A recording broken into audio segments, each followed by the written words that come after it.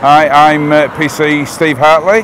Uh, I'm currently stationed at uh, Steinbeck Police Station in Leeds and my uh, duties at the moment are a ward officer for the Chapel Town area of Leeds Division. Hi, uh, I'm PC Mark Rothery. Uh, I'm also based at Steinbeck Police Station in Leeds uh, and my role at the moment is uh, ward officer for uh, the Markham Avenue Triangle.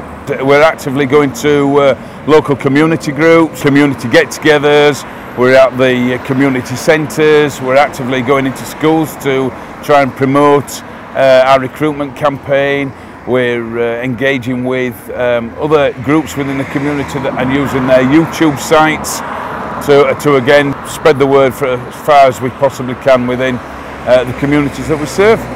I've been in this role now for about 12 months, uh, built a lot of uh, uh links within the Bangladeshi community, a lot of trust, lovely people all around that area really. Same with Chapeltown, um, really, really positive.